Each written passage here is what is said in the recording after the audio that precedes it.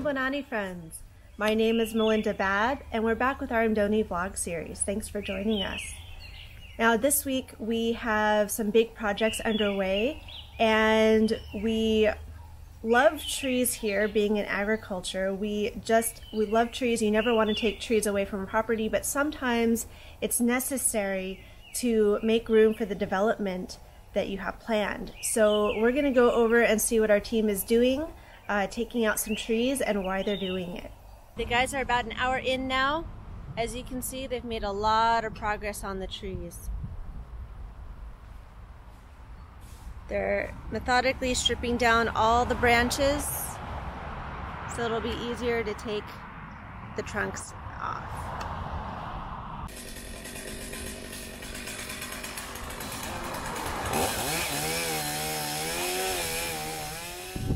So I noticed the guys switched to the axe. Yeah, so the guys have switched to the axe now because the the chainsaw has had some problems. So we are running, Musa is running to town to get it fixed. Uh, but in the meantime, the guys are, are getting are using the axe to cut it down. We are also having a break with uh, this uh, drink. It's called a maheu. It's just a, a maize meal, with, a cooked maize meal with sugar.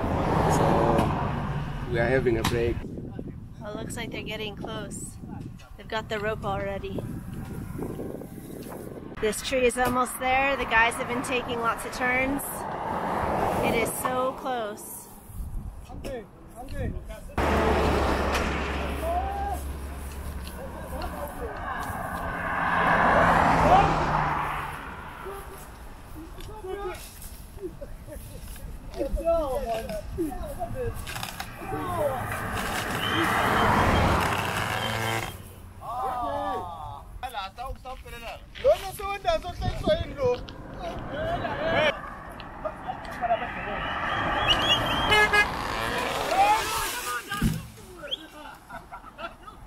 So the team has spent about a week cutting down two massive trees in this windbreak. And normally we want to keep as many trees as possible, but we need the space to bring in a gate, an entrance gate. So this break in the trees that the team has created is going to be the entrance and on the other side of those two trees is going to be the exit. But they'll all feed into the same main gate which will come into the farm. And that gate is going to be really large. It's going to be 8 meters wide, which is 26 feet.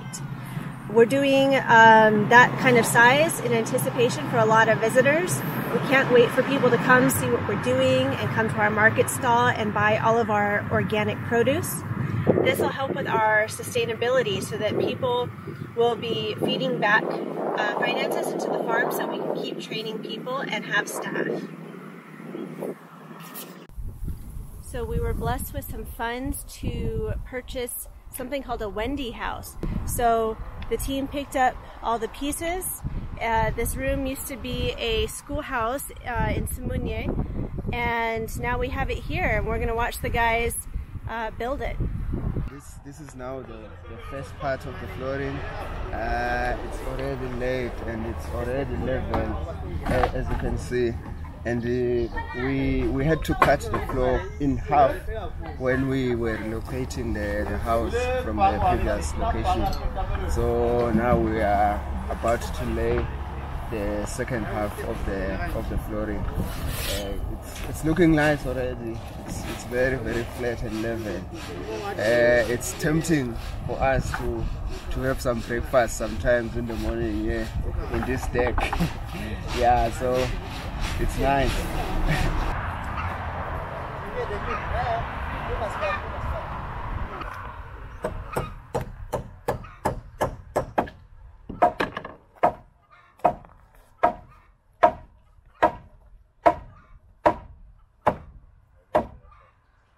You remember usually the students uh, and the staff were doing their meetings and their lessons here on the veranda at our staff housing and that wasn't really adequate with the heat and the cold.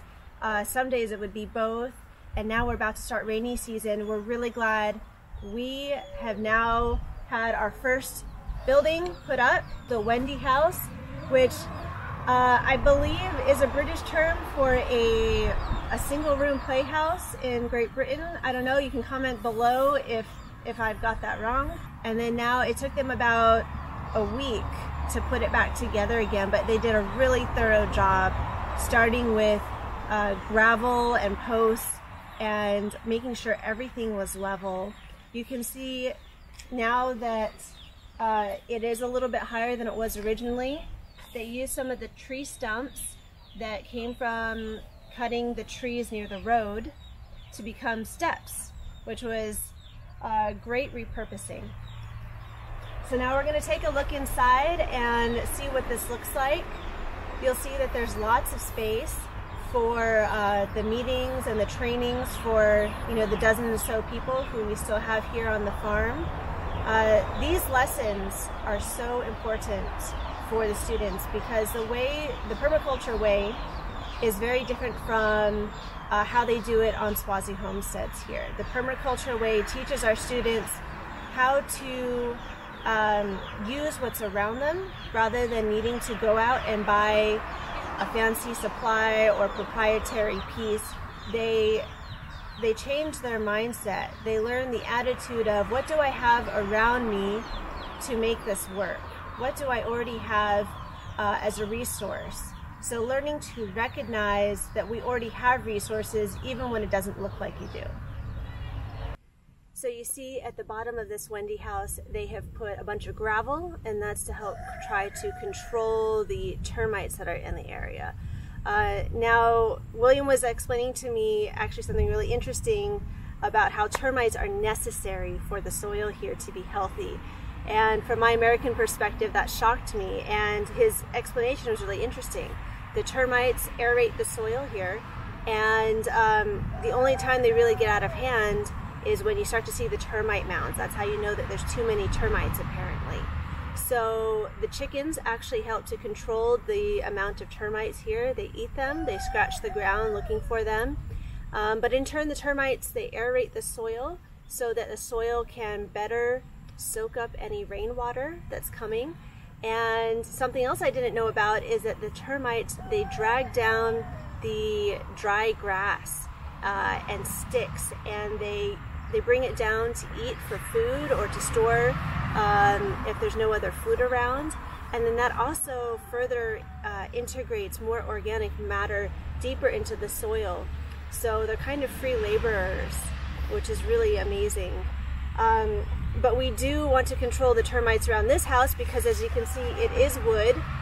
And you can tell from the look of it that it has been treated um, to try to be termite resistant, but we're still gonna do um, some due diligence and make sure that there's the gravel, which is supposed to also deter the termites. And then we have it raised off the floor, as you can see. So all of this should help uh, mitigate termite damage or keep it minimal. This Wendy house also provides shade for some of the animals, uh, like the geese, and should a termite get above the gravel, you know those geese are gonna snap up that tasty snack. Thanks so much for watching. We hope that you enjoyed seeing how much progress the team has made here at the farm. Um, we would love to know what you would like to see more of. Uh, please feel free to comment below and let us know what you think. Until next time, Salani Gottlieb.